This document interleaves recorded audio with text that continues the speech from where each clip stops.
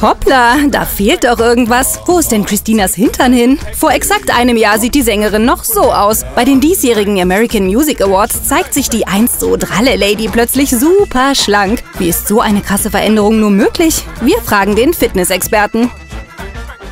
Christina Aguilera hat jetzt innerhalb von einem Jahr so circa äh, 20 bis 25 Kilo abgenommen. Ähm, das ist auch für diese Zeit durchaus realistisch. Allerdings, gerade bei dem Bild mit dem weißen Armkleid, sieht man schön, dass die Taille da äh, sehr straffe Haut ist. Das kann sein, dass es da ein bisschen nachgeholfen wurde. So, so. Naja, Hilfe vom Onkel Doc holen sich die Stars ja gerne mal. Die 32-Jährige schwört offiziell allerdings auf Sport und gesunde Ernährung, um sich von der Pummelfee zum Red Carpet Blickfang zu mausern. Ja, nee, ist klar. Normal sagt man ungefähr ein bis zwei Kilo pro Monat, wenn man konsequent dran bleibt.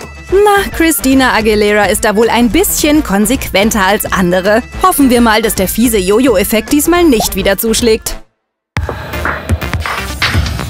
Ja, ja, bei Schäfer Heinrich will's mit der großen Liebe nicht so recht klappen. Für eine neue TV-Sendung wird ihm ein ukrainisches Mädel nach Hause geschickt. Die wird auf ihre Qualitäten als Bäuerin geprüft. Erste Teststation, Kühe melken. Dann hat sie sich vor die Kuh gesetzt auf den Melkschemel und dann habe ich mir um ihr gelehnt und habe den so gemolken. Und dann hat sie das nie gemocht und... Oh, ja, das war dann wohl wieder nix. Dafür kam ihm bei der Aktion die Idee zu einem neuen Song. Die Muse dafür war allerdings nicht die Single Lady, sondern, ja, wer auch sonst, die Mutti.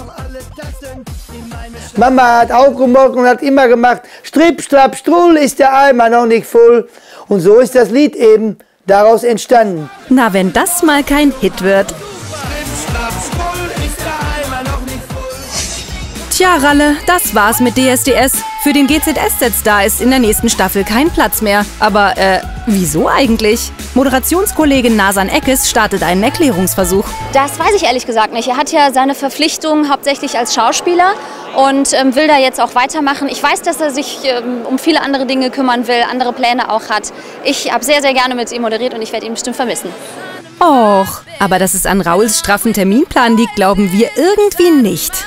Vor ein paar Monaten klingt der nämlich noch recht euphorisch. Hat mir wahnsinnig Spaß gemacht und deswegen würde ich mich freuen, wenn RTL nochmal auf mich zurückgreifen würde. Tja, schön wär's gewesen. Ein Nachfolger für Raul ist laut Nasan jedenfalls noch nicht geplant.